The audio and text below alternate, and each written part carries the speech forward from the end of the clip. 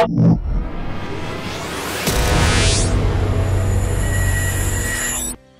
guys, welcome to the Game Changer Show. Today we will talk about blockchain gaming, and my guest is Jonny, as known as Hustlepedia. We will talk about traditional gaming, blockchain gaming, NFT trends, and metaverse trends. Stay tuned. Hello. Hey, hey, how are you? Hey, I'm good. I'm good. You? I'm doing awesome. It's Friday, so I cannot complain one bit. But it's going to be a busy week with NFT NYC next week, so it never stops, even even in a bear market. Yeah, yeah, yeah. I've seen on your Twitter that you're going for this event, right? Yeah, it should be good. They always say it's the biggest NFT event, and I didn't go to the one last year, so I guess it's uh, something I have to check out if they say it's the biggest one. Just out of curiosity, when do you think we're gonna see the bottom? When? Uh, that's so hard to pinpoint, of course. Um, like I said, I mean, this could go three months, six months, a year. So it's really hard to tell. Um, I, I think around maybe, um, and this is just a complete speculative uh, event, but I think you know the the midterm elections here in the U.S. could have a little bit of a shift on the market if there was some sort of sentiment uh, positively potentially around that time uh, with the economics and some new initiatives people are talking about, or you know, some usually around that time period things do shift in the economy. So I think with midterms in the U.S. this year, I do think that that could potentially be a time. I think that would be in you know three to six months uh, in that time range. But also on top of that, if we're really in a depression or a, a recession, then we could go much longer than that. Okay. So, Jonny, we're here not actually to talk about uh, current situation in the market, but thanks for your opinion. We're here to talk about blockchain gaming because I know I know you're a big, big guy in blockchain gaming industry. And please introduce yourself to our audience and please tell us how did you got into crypto space? What is yeah, your story? Of course. Of course. Um, so, what's up, everybody? My name is Jonny, aka Hustlepedia. Uh, I do host the In the Game show on the Crypto Banter channel. We have a little over 500,000 on YouTube. And as well, uh, I'm Hustlepedia YT on Twitter. I just tweet a bunch and give a bunch of information on crypto gaming, NFTs, metaverse, etc. And I really got into the space based on my esports background. So, my esports background, I had spent about six years competitively playing Call of Duty. Uh, so anyone who knows, obviously, anyone here is probably a gamer. So first person shooter, I was playing at a very high level, like playing for money all the time. So I was always in that competitive niche, trying to, you know, be better than other people and try to, you know, win money in these games. So play to earn immediately kind of triggered with me whenever that came to the landscape. And then on top of that, I had bought so many skins in these different games. So people understand like you spend all this money on like Fortnite skins or Call of Duty Warzone skins, Valorant, CSGO. There's so many microtransactions in these games. And then when you look back, like when you stop playing those games, you like look at your inventory and you're like, what did I grind all that for? Because I can't even do anything with it now. You know, you you have all these unlocks and equipables and skins, but there's a one-way marketplace. You're just giving the studio your money. So then NFT gaming popped up into the landscape. Uh, last May is when it really started getting hot uh, with Axie Infinity. And I've been in crypto for a couple of years before that and just kind of lightly just investing Bitcoin, Ethereum. I wasn't too much of a degen at that time.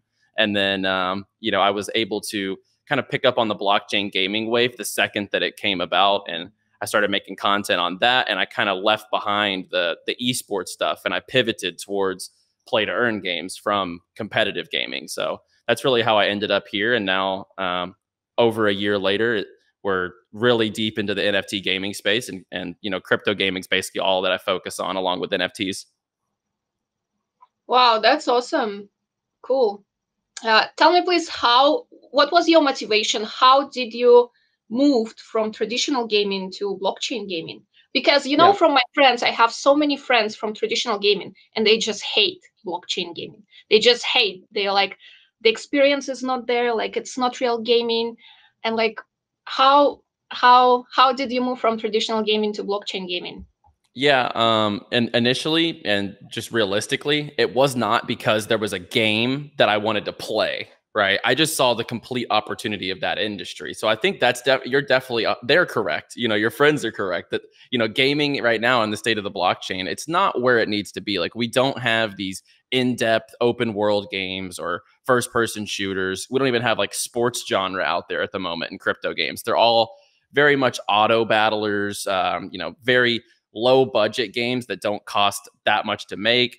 Uh, but they, you know, with the tokenomics and stuff like that, they go through these massive cycles with the inflationary economies. So there's a lot of flaws in the games right now. I actually got into the games because the people I was gaming with and the people I was competing with in Call of Duty, uh, still, uh, I I'd quit this, like I said, r- about last April, May, to shift completely into crypto gaming. I gave them a call in the market. Um, I told I, I told them to buy Illuvium because they were asking me, and they held on to that for quite a while, and it did really well. And they were like, "You need to just talk about this on YouTube. You know, quit playing games, and you should talk about crypto games because you really are sharp in that industry." And you know, so thank you to them for putting me onto that track to kind of leave that behind because uh, I, I, felt like I had a lot to lose at that point because if I just left that behind and this didn't work out, it would have been very risky. But I clearly definitely went down the right path. Wow, that's cool. So uh, you told your friends to buy Illuvium, right? To invest yeah. in Illuvium. Yeah. Okay, Jonny, can you tell me as a friend what should I invest in? Uh, right now, right now, you just need to stack stable coins. Wait for the market to bottom because these, you know, uh, here's what I'll say, and you know, th- this goes for a lot of these gaming projects out there. The ones that are quality crypto gaming projects that do have tokens, they're taking 80 to 90 percent drops already, and they could probably take another 50 to 75 percent drop. That would not be very unlikely if the market keeps going south for many months ahead. So I think that those will be some of the biggest gainers when we do end up going back up.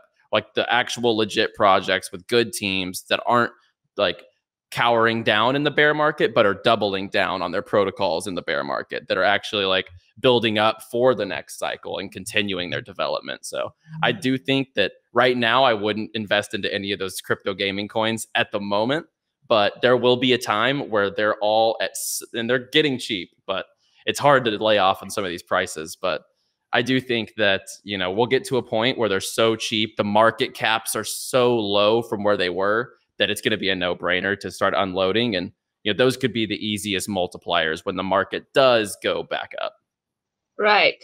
So there is no chance for me to become a millionaire right now i don't think so and I, I you know I, it's it's a long game if you want to play the millionaire game for the most part in crypto. Right. Uh, so next question I have for you: What do you think are advantages of blockchain gaming? Yeah. So the it, advantages, yeah, um, the advantages of blockchain gaming. I I think that you know when you I mentioned at the beginning with the traditional games, they just they today they function all their revenue off microtransactions. So I believe last year there was 52 billion uh, and microtransaction purchases in in these games. And you know, most of that is complete profit. I think the profit margin from that from these studios was 35 billion. So with the 17, they they you know that's an insane profit margin for these games that do have very high overheads to develop the games. But 35 billion in microtransaction revenue last year. And you know, like I said, all these players they spend so much money inside of these games, but they're just forking over their money to the game studio and they don't own anything in their account like truly. It's it's kind of like having your crypto on a centralized exchange. You don't own it at all. Uh, like if you have to make a metaphor.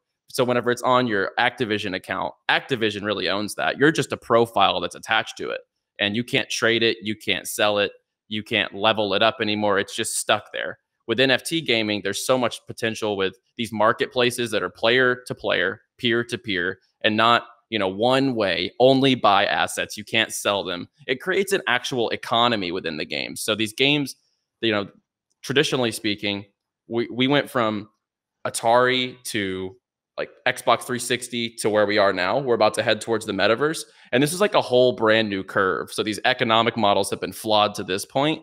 But with the asset ownership and the true I, I would say affection for the player to have towards the game when they actually do get the access to own their camos, own their skins. It just takes it to a different level because people do latch on to that that material type of item within the game and that's one way for them to actually, you know, be able to be one step closer to that ownership. And one thing that traditional gaming needs to pick up on is the studios could make more money if they let players trade the assets because they can still sell assets just like NFTs, like skins and camos and stuff like that.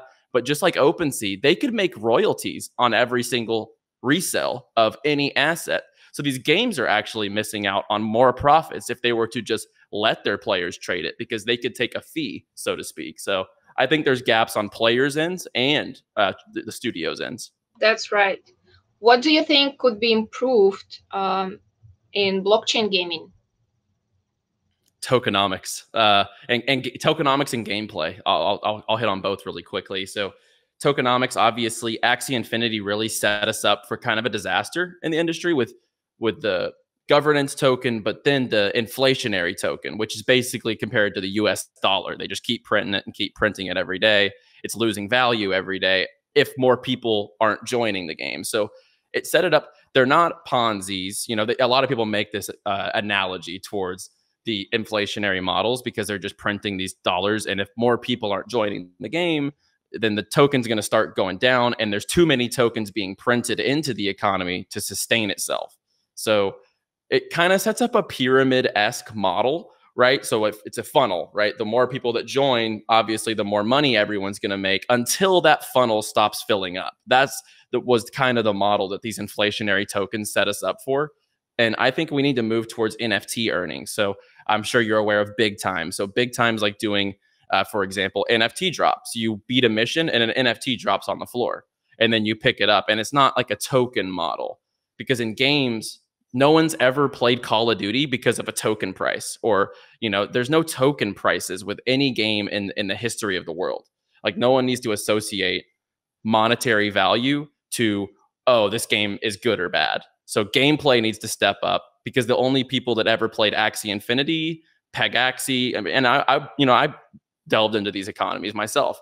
These games were very boring. They were very simulation. They were very you know you were playing them to uh-huh. make money. Right. Yeah most people there are playing them to make money and some people have to treat it like a job in some of these countries where scholarships were so large. So i think there's a big problem with tokenomics and then gameplay. We, we talked about this earlier but yeah game, the games aren't where they need to be. We don't have those really quality games that actually capture market share from web 2 right. Absolutely agree with you. So when when do you think we can have that perfect game where we can actually have fun and it's not just you know one click game. Because all the games you have mentioned before i also played those games and it's basically it's so boring you know? Yeah you're yeah. making some money but the gaming experience is not there. It's just it's, so yeah it's not really a game. It's not. So when do it's, you think we're going to have that perfect fun game?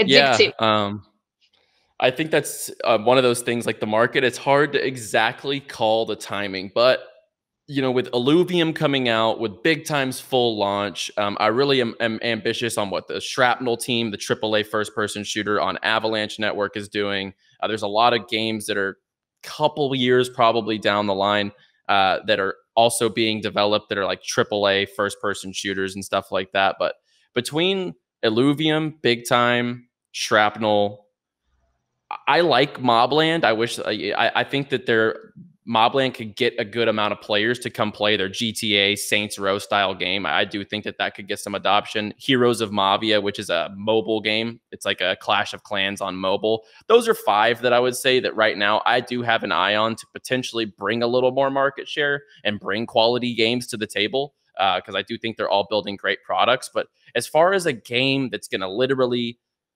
be like the people on Twitch are going to be like, I want to play that game. You know, like that's the level we need to be at to compete with anything out there that's like an Apex Legends or something like that. So I would honestly say, you know, I, this is a long game that we're playing here. 2020, late 2023, early 2024, maybe we see the first like triple A game. Because you have to think these games, if they're really building a studio level game, triple A, Call of Duty style, Call of Duties make two to three years to take two to three years to make. And they have the most money you could ever think of. So these Web3 gaming studios, most of them are literal startups. So you have to give them time. And I think the studios will come out with games, but it'll be later next year or early 24 where we see like high, high level blockchain gaming, like to the to the potential caliber of what we see today. Right. Uh, so earlier you have mentioned metaverses. Tell me, please, are you living in any metaverse?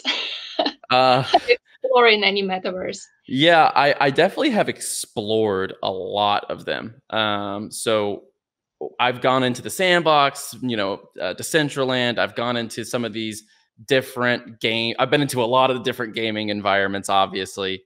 Uh, but you know, most mostly right now, what's built out is Sandbox and Decentraland to be able to hop in today. Um, and I I love what they're doing. I think that they're both brilliant projects, but I don't consider that the future of the metaverse personally. So I, I think just like games, I'm bearish short term on metaverse because I think that it's just not once VR and AR and all that stuff plays into it and it literally feels like you want to be there over you know your potential real life in the evenings or something like that it needs to be it needs to be an experience that you desire to hop into every single day. And i don't right now they don't capture my interest to that level the, the sandboxes and the decentralands. So uh, i don't currently live in any of them. I do have a couple of land plots in them because you know i, I am oh, i'm betting on the metaverse industry of course. So i do have some land in some of these different metaverses but uh, at the moment I have to say uh, I'm underwhelmed with what's what's happening in the metaverse space. Okay, to be honest, like in my vision, metaverse is something like when you wear VR and you and you just appear in different world where you can actually you know have fun or relax but sandbox and decentraland that that's not place for relaxing and for fun it's more like minecraft game you know yeah, Why, exactly how I feel. That don't you think that that this is not metaverse? uh, it's it's not. In my opinion, you know, we were told the metaverse was Ready Player One, right? We, we, it's supposed to be an experience, you know, virtual reality, augmented reality, right. that type of stuff that literally takes you from where you are. Uh, no matter what it is, I can't get into something so much that I don't remember that I'm standing here at my keyboard and on a computer screen. This is not a metaverse, right? So it, I think people we have to slow the brakes. It's just like the same thing. The development curve is going to take a little bit to get that virtual reality aspect really hammered down, but I think the adoption of the metaverse is a no-brainer because if you look back at the social media wave, in my theory at least, the social media wave, sure MySpace was before Facebook, but Facebook really set social media on fire. And that's what birthed like the Twitters, the Instagrams, which they eventually acquired, which turned into the TikToks and that kind of spawned from YouTube. But that was all kind of the prime development of the social media era from like er, mid 2000s on. And Zuckerberg was in front of that at that time, you know, when he came out with Facebook.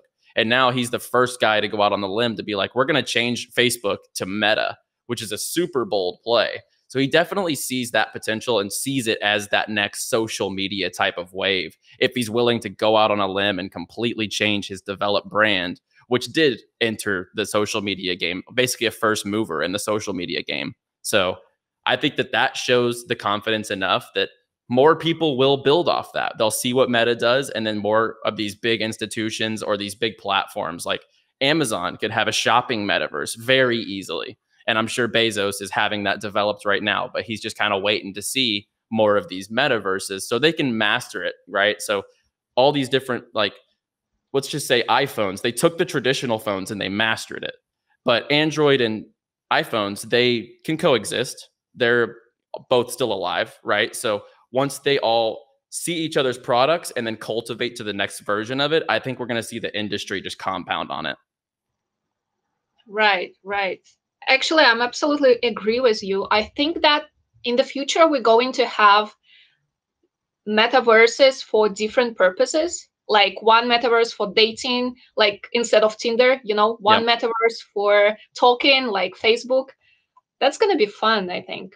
I could see that happening 100% instead of messages on the screen on a dating app you're like talking to them in the metaverse. That's a completely game changing experience. Yeah that would be cool. I actually I have VR Oculus, and like I just want this metaverse. So I wear my VR, and I'm in different world, talking to people, having drinks, you know, That would be so much fun. And Absolutely. actually, another thing, I I was thinking that probably 2022 is the trend for metaverse. And I kind of feel like we should start investing in metaverses. Yeah, we're we're at a I feel like it's been a quite a while since we had that catalyst news, obviously, uh, for the metaverse or like that next big company coming into the metaverse. But you know, I also think that these companies might be waiting for a little better market sentiment to like announce so people are more engaged and they care more potentially because they all calculate that between market and the announcements most of the time. But at the same time, um, I agree with you. I mean, if you're looking at a long term horizon, if you can find the infrastructure and the metaverses that are going to actually, you know, make noise and and be relevant for years to come, then I think it's a great time to definitely start putting those watch lists together and start getting in on metaverse. And like I said, like I've bought some metaverse land. You know, people say it's like buying land in Manhattan in like the 1920s. I don't really believe it to that level. I think that's a little bit overblown because that's that would have done insane return on investments over a hundred years. But who knows? You know, that's the whole speculation of it. And so I'm definitely I have a few land plots here and there, but I'm waiting still on coins. I, I, will get back in on some metaverse coins, but as of now, I'm pretty exposed just in, as far as NFT assets. Okay, cool. So you have mentioned you have some land in some metaverses. What metaverse you have? Yeah. Yeah, so I have some land plots across multiple. I, I have one for Sandbox, one for Decentraland, just for exposure purposes. I have a few in Network, NETVRK. Um, mm-hmm. I'm very bullish on what they're doing. Uh, I have some they Illuvium. Actually, sorry, sorry for interrupting you. They actually aiming for uh, VR kind of thing, right? They are, not, yeah. Not this, um, Minecraft game. They want a complete immersive experience, yeah, VR, the whole nine. So that's what they're going for. I, I, really like what they're doing at Network. I have some plots there. I have some um, plots in Illuvium. I just bought those at that the land sale a couple weeks ago, so I got nice. some off the auction. Uh, I have some land in Big Time. I have some land in Heroes of Mavia, and I think that's it off the top of my head. At least I'm, I'm trying to I'm trying to think because I there's so many of these games. I have some in Vulcan Forged, Metaverse. Um, so yeah, I'm I'm pretty exposed across different sectors, genres, etc. So you have mentioned before about NFTs. Uh, tell me, please, any projects, NFT project you're bullish on? Yeah. Um, so NFT projects I'm bullish on. I really, really like the guys over at My Pet Hooligan and what they're building. So their background, they came from Pixar and they have their full production studio. And, you know, these guys are heavy hitters as far as their experience, like Pixar to the level of like they worked on Toy Story animations. So they have this open world alpha game out right now. They just launched their staking for their hooligans. They have all this stuff down the pipeline. They've done merch drops. They've done a lot of different stuff, but they're not the type of guys to really like overhype anything. And they're very low key. They just keep working, and the community is very bought in. And the alpha gameplay is so fun because you it's open world, but it's like action. There's games. There's different like side stories. It's very fun. Okay, cool. I'm taking notes. so I'm pretty sure you heard of uh, Goblin Town, right? Yeah, of course why why do you think this project is so hyped? Um if you look around the state of the nft market there wasn't a there hasn't been any hype drops for a while um, in the space before goblin town. And then because there was kind we were kind of going into a bear it was the entrance of a bear market for the nft market as well. And mm-hmm. with the crypto sentiment as well going down it was just the perfect storm for someone to just throw a complete meme on the table and say it's a free mint and here you go and the art's just absolutely wild to me. Uh, I, I, I don't understand it but it, it is what it is. Uh, so they threw out this free mint in a time where people really kind of desired something like that or they needed something to kind of latch on some faith to right? They needed something to have hopium uh, within the crypto space as people say sometimes. So I think that they took off because they really were calculated. They launched in the heat of a dying market, a, a, a bear NFT market, and said, "Here's a free mint. We're going to have some fun." And I, I think the community just kind of caught on to it. Okay. Uh, do you think it's a bear market for NFTs as well right now? It, it, I think we're in a bear market for NFTs. I mean, whenever I, if you scroll on like the the rankings, for example, on OpenSea, you're able to see like, I mean, the Bored Ape floor has taken like a 60 ETH drop. We're looking at, you know, even the ape land and all the ape stuff has gone up over time. I'm pretty sure the the land for apes is one of the only things that is underpriced now because of what people paid for gas and the mint they're only at two ETH now, and at this ETH price, most people paid more than that price to get these lands.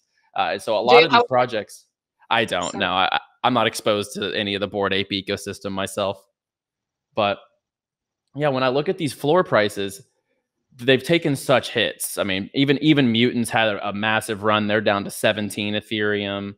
Uh, Goblin Town's back down to three Ethereum after getting up to like I, for, I forget what they peaked at, but a lot of these quality projects have just taken a massive, massive hit. So I, I feel like we definitely are in some sort of an NFT bear market. And it happens with Ethereum because they bleed value so much quicker because people start undercutting the floor to sell to get some liquidity back. But ETH's also dropping at the same time. So it combines this factor of dropping floors and dropping Ethereum, which causes definitely an NFT bear market. So do you think now is the right time to build and to buy or should we wait for more time a little i think if i think ethereum safely goes into the triple digits uh you know under $1000 i i 100% see it going under a $1000 which is going to just bring these prices even lower so um I, I think the sentiment in the nft market eh, there's no rush i wouldn't say right now um, nft nyc next week most of the time when there's an NFT gathering, uh, something happens to the market. Or consensus last week, we had a market meltdown again. Bitcoin Miami, we had a market meltdown. So now we have this NFT event too. So, uh, I, you know, I don't see, I don't see a lot of people out there aping into mints at NFT NYC or, or out there buying uh, on OpenSea. They're more out there for the event and, and to meet people. So I, I think no rush to get into to anything at the moment. Let Ethereum go down a little more, I would say, because more people freak out, more people paper hand their assets, and it brings the price down even lower on floor price as well. So, you know, I would safely wait. Um, you know, maybe maybe look in July and see what the prices are compared to today, and then start to maybe look at accumulating some blue chips. Okay. So guys, we're waiting. Yeah. I'm I'm sitting on my hand I'm I'm sitting on my hands so I don't force myself to to ape into anything right now. All right. So tell me please, let's uh, wrap up our conversation. Uh, tell me please, how do you see the future of blockchain gaming, of metaverses? What is the future? I don't know, in five, in ten, maybe years. Yeah, um, I I I am un- unbelievably bullish on the NFT gaming industry for everything I've said in the show for, you know, microtransactions being replaced with asset ownership. And that's just a player trigger. So where we're at right now, gamers don't like the word NFTs. Like literally, that a lot of their problem, they think NFTs are a scam. But if you just tell like every gamer traditional that I've asked that's not into crypto, not into NFTs, they ask, what is NFT gaming? And I say, have you ever bought a Fortnite skin? And most of the time, or whatever game you play, yes, they, they usually say yes. And it's like, would you like to be able to sell that later on if you like quit the game? Would you like to be able to go in there and start making a little bit of money back off the time that you put into the game?